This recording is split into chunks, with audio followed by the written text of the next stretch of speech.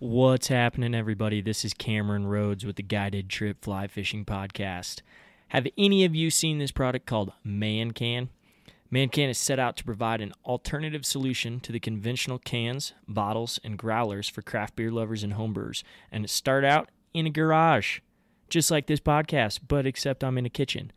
Um, in 2017, at the National Hardware Show in, Ve- Show in Vegas, Mancan was awarded Editor's Top Choice in the Tailgate, Backyard, and Barbecue Products category. If you haven't checked out the Mancan, you need to. It's a mini keg. You fill it up with beer at a local brewery. Boom, you seal it, done. It's good for the lifetime of the beer till you open it. Um, little 64 ouncer I take anywhere I go. I got two of them. I put one in my truck. I leave one at home.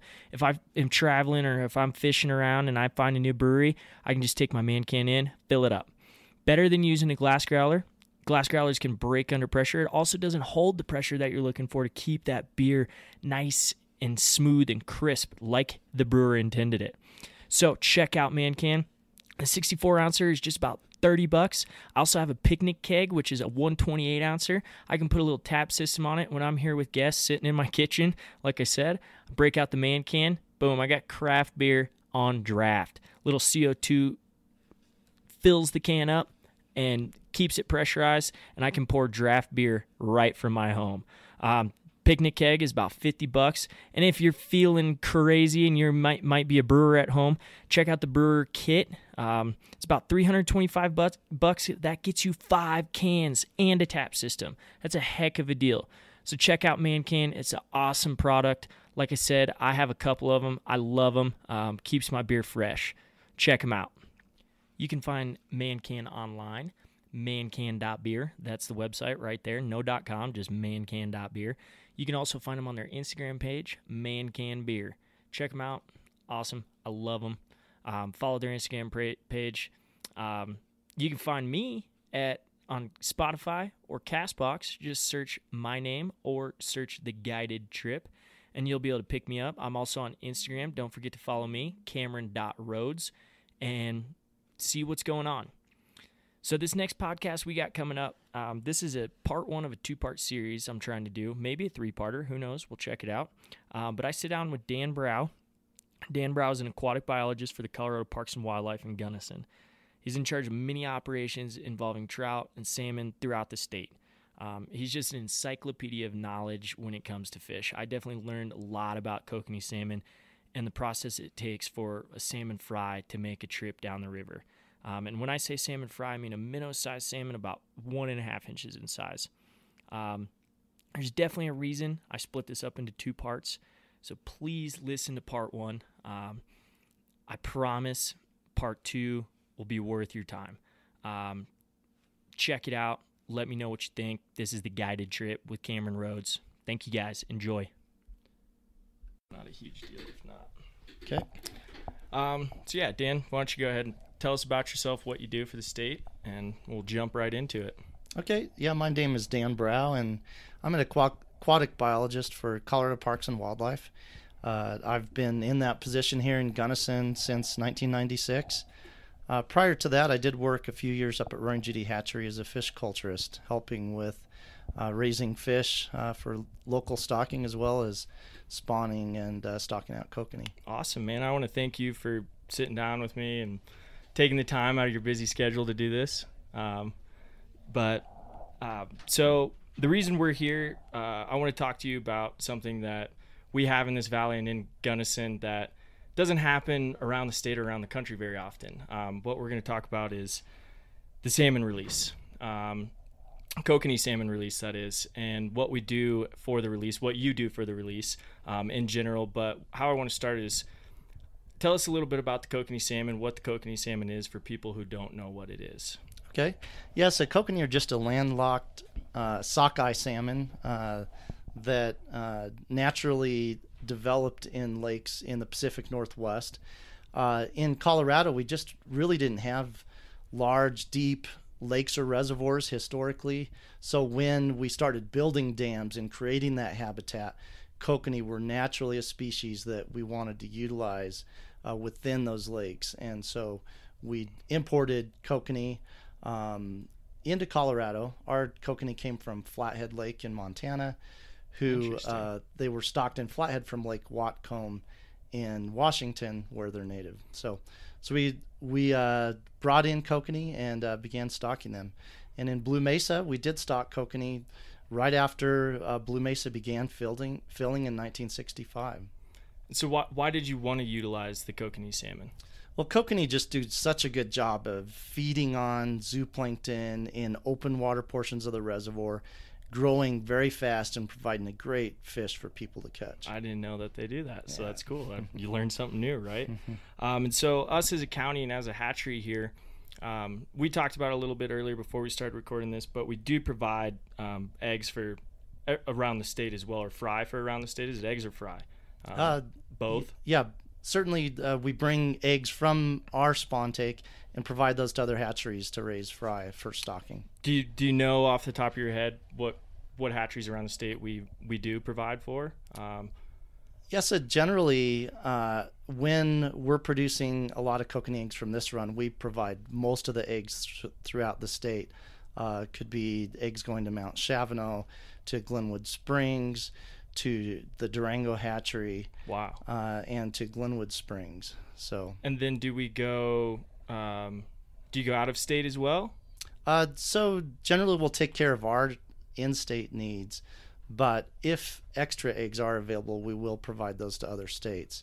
And certainly, there are years where we may be short of uh, kokanee or other species of eggs, and so we do share with other states. when to is the last time the we've been short?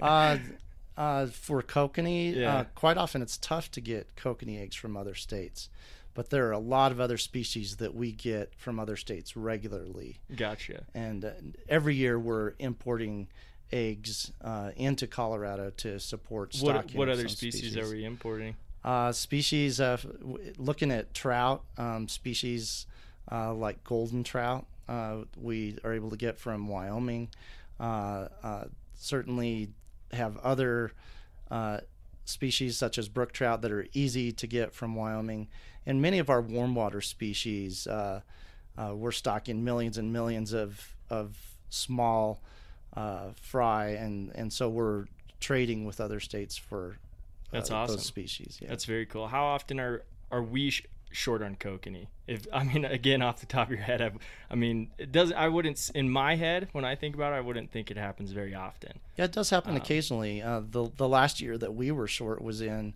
uh, 2015, I believe, and uh, in those cases, we generally uh, focus on stocking our brood waters, uh, our places that are providing kokanee eggs for future stocking, and some of the other waters that we'd like to stock, we may have to back off, off on if we're short. Gotcha. So now we'll kind of now that we have a little bit of history about the kokanee and what we what we do around here in Gunnison for the states and states around us a little bit. Um, I'd like to talk about the release process and what we need um, for the release. You know, kind of your process through the release. Um, you know, obviously there's going to be a lot of factors for the release, um, and I mean it's we'll we'll say it's coming up quick. We'll put it that way, but. Um, so talk about your process for the release. You know, kind of I guess from start to finish, if you wouldn't mind. Um, you know, time period, water levels. You know, kind of let's we'll, we can walk through all of it and kind of check it out. Okay, the the first thing that really drives our kokanee release here locally is our need to keep the life cycle going. So we need those adult fish when they're mature to come back to the hatchery. And we've learned that to do that we need to release our fry from the hatchery. Uh, we have tried to bring truck fish down uh, to a just above Blue Mesa on the Gunnison River, but we found that when we do that, the fish just don't uh, make it back up to the hatchery. The imprint of that trip down uh, is broken if we truck them down. So we need to stock them from the hatchery, uh, and to do that, uh, there are several things we need to be aware of. Um, uh, certainly during the release, if we wait too long, there are lots of irrigation diversions uh, between the hatchery and Blue Mesa Reservoir. And you're And if- talking irrigation towards branches and everything like that as well. Yeah, Okay. primary flooded irrigation later in the season. Early on, it's primarily stock water, but as we move into the spring season, uh, there are many ditches pulling uh, irrigation water for flood irrigation of hay primarily. And in those situations, if kokanee get pulled into those ditches, they're not going to make it back into the river and make their way down to Blue Mesa. They end up in the fields. Uh, so that's the first thing we need to do is make sure that we're releasing our kokanee prior to most of those ditches coming. Out. How online. often do you see kokanee that do enter the ditches and end up in fields? Was that a big um, was that a big concern early early on in the days? Where you're going, oh man, we need to fix this. You know, kokanee are ending up in people's fields, and we need to look more into the, this irrigation problem. Yeah, certainly there were years where it happened to a greater degree than others. The the most recent year that we were taking a close look at that was in 2002, and uh, during that year we saw major losses of fish into a couple ditches, and uh, at that point we knew we needed to solve that problem and uh, uh worked on ways to try to screen d- ditches, uh, put trap nets in ditches to move fish back. Uh, but the key is really trying to get our kokanee stocked prior to those ditches coming online. That's that's really the the number one priority on timing of the release. Gotcha. So we know location now up at the hatchery. Um, how far is the hatchery away from Almont, Colorado? It's just a couple miles from Almont. It's about four miles. Gotcha. Yeah. And so the process that the uh, these salmon fry have to go down. It, you said it's about 22 miles to Beaver Creek, um, mm-hmm. which is just west of Gunnison, pretty close to Blue Mesa Reservoir. Um, mm-hmm. We were talking about it earlier. Might be around 26 miles or so, all the way to Blue Mesa Reservoir. Um, that's a long ways for a little tiny fish to go in a short period of time. How how long does it take usually take for those fish to go? Um, get all the way down to. Do you know how long it'll take? We do, just from having many years of uh, didn't mean to put you on the spot with that yeah. one, but no, we we've certainly spent a lot of years out there where we are stocking our kokanee and then tracking how quickly they're moving down. And quite often, it, it may be a ditch that we are trapping or screening that will note when the fish hit those ditches. And so, generally, uh, they can be down to the reservoir as quick as five hours, which is pretty incredible. But that's closer to flows of a couple thousand CFS. On the low flow standpoint, if, if you're looking at flows of a couple hundred CFS, that like travel time, year. yeah, travel time is going to be closer to 11 hours. Gotcha. For the first kokanee to hit the reservoir. And so you brought it up. You well before we started recording, we talked about it a little bit. Um, how many how many are you guys releasing on average about a year? Okay, since 2009, we've been stocking about 3.1 million kokanee from the hatchery. Uh, we do stock a, a, about 400,000 into the reservoir as well, so a total is around 3.5 to 3.6 and that's every year? million kokanee annually. Yeah, every year. That's that's a lot to get down in five to six hours in high flows. So in low flows, I mean that's it's a lot of movement for those fish. It's going to be tough. Um, I mean, this year we're looking at a low water year. I, I, mean, I looked at CFS the other day and it was 230. Yeah, I mean that's, that's pretty where we low. are today. Yeah, yeah, that's yeah. pretty low. Yep. Um, what? How's that going to affect it? So that it will certainly take longer for kokanee to reach the reservoir. Uh, generally, it's difficult to significantly shift that though because we we need to uh, get kokanee stocked before irrigation ditches come online. So we kind of have to work with what natural flows we have. Gotcha. Um, now we can try to get a little bit of extra water from Taylor Park Reservoir. Gonna, that was my next question. But even that, um, it's not going to significantly change the situation. Uh, it's still going to be fairly low flow. And then we we haven't hit on it yet, but obviously a moon, the moon cycle is is, is a huge deal. Um, is it is it more for? I mean, are you looking for a new moon or a full moon, or what's what's the best kind of scenario for that? Yeah, so uh, we do stock our kokanee fry at night, and the intention is to stock them at a time where predation will be as low as possible in the river. Uh, browns and rainbows in the river will prey on these two-inch kokanee that are stocked. so we try to stock them in the dark as much as we can. So a new moon is what we want. The trouble with that is they only come every 28 days, and the timing often isn't ideal. So the um, window is very short. Exactly. So a lot of times we, uh, what we try to do is wait till the ice goes off of Blue Mesa.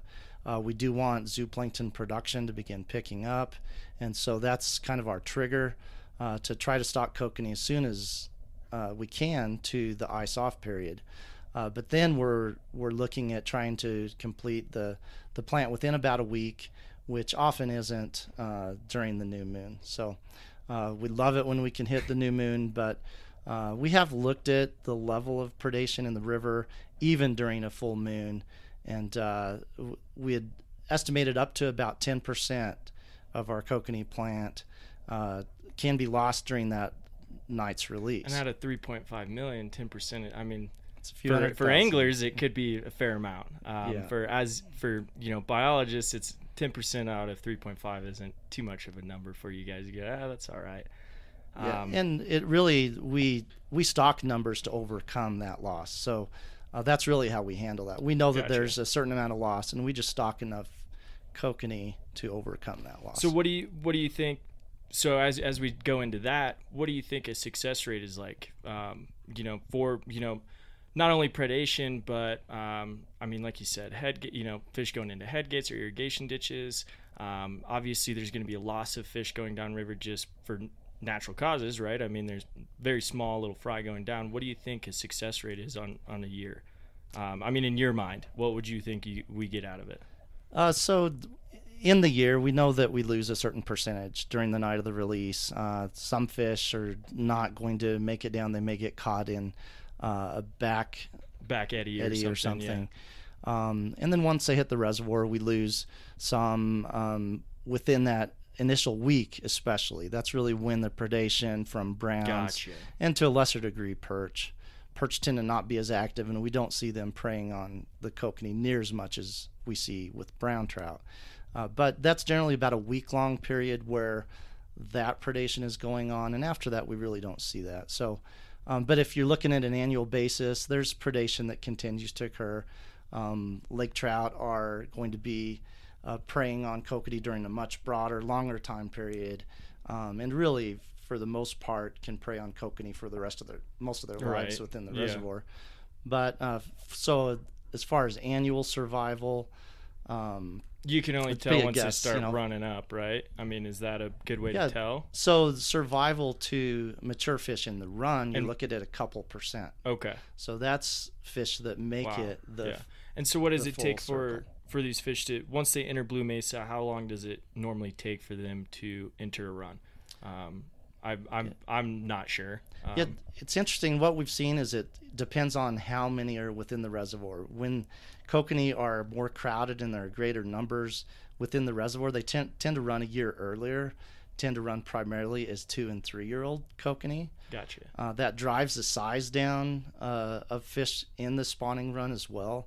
Um, but when they're less dense in the reservoir, they tend to run as three and four year olds primarily. Gotcha. That's kind of what I figured. I, I've Mm-hmm. heard it was about three years, but you know, obviously, I don't know for sure. Mm-hmm. It's not my living. um, I catch them. That's about what I do. Um, so last year, what I heard from is that we we had a very good year for the kokanee run. Mm-hmm. Um, so obviously, we we over the past couple of years, you know, if you're thinking two to three years or two to four years, I guess, for mature fish to move upriver, the last couple of years have been pretty successful. Um, and, am I correct with that? That we Yeah. last year we had a pretty good run and we had good numbers of eggs and everything that we were getting. Um, Yep. Yeah, the last two years we've had really good fishing in the reservoir during the summer, and we've had great kokanee spawn takes, record spawn takes at around 17 million the last two years. And uh, that really has been benefited by the reduction in the bag limit. Uh, so uh, anglers are now able to only keep five kokanee in the reservoir during the summer instead of 10 that they could previously Wow. keep so cut in and so half. so that's really likely increase the number of adults that are in the reservoir that are then able to run upstream and uh, that we're able to take eggs from. Definitely. So that's likely created a bump in our spawn takes the last couple of years. And I, I definitely we talked about it a little bit earlier, but I want to you know at some point I'd like to sit down in the fall and go over you know the kokanee run instead of the kokanee release and talk about that because there's definitely a lot to do with the kokanee run and a lot of work involved for that. And I know it's a huge part of the year and there's a lot going on with everybody. You know, especially in the fall, it's a busy time of year for everybody around here. Um, but I do want to sit down and go over that in the fall. Um, for the most part, I mean, we learned a lot about the release, what's going to be happening. Um, we're not going to give it away right right now when the release is going to be. Um, this is kind of the the part one of our part two, but um, I do want to thank you again for taking the time to sit down. Um, we do know the release is going to be happening shortly, um, and so um, you're a busy man. We'll let you get back to it and uh, figure out what you need to do. But thank you very much, Dan. I appreciate you sitting down and talking about this. Um, and it was, it was great information. I definitely learned a lot, so I appreciate it. Yeah, you bet. Yeah, I'm And- happy to chat with you. We'll have you on again in, in the fall, hopefully, and we can talk about the Kokanee run. That sounds great. Awesome, man. Thank you very much. You bet.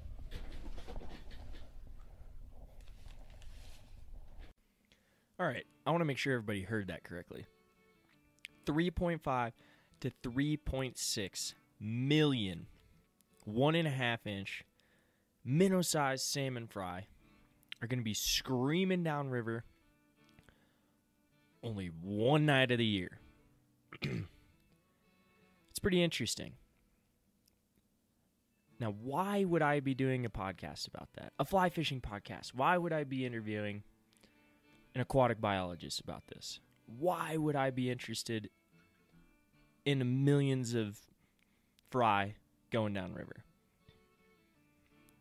Think about it. Be interesting to see how the predatory fish react. Keep that in mind. We're going to do a part two on this. And like I said at the beginning, you're not going to want to miss part two.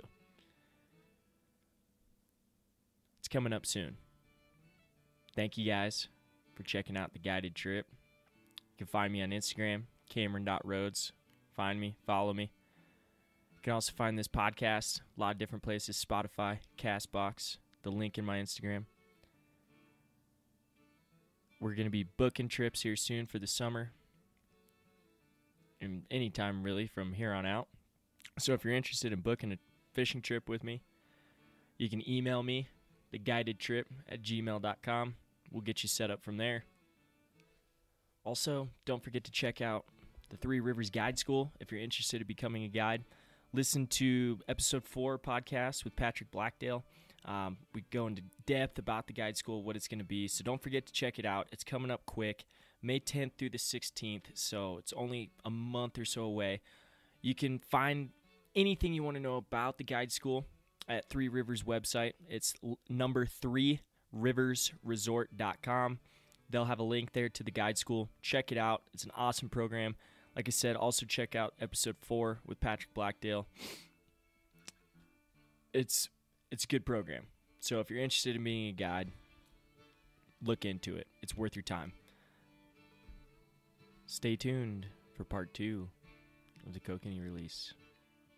Thanks, guys.